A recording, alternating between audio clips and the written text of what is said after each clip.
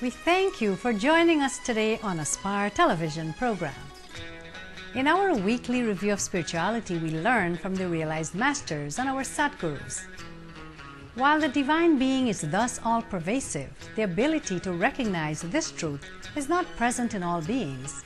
It is a well known fact that fire is latent, which is present in wood. But on that basis alone, if one attempts to cook rice in a vessel by placing it on a truckload of unlit wood, the rice will never be cooked. Fire has two states, the inner state and the outer state. The fire that is invisible and latent is inner fire. This fire, though it is present, cannot burn anything. The external fire manifests its true form and can burn anything and reduce it to ashes.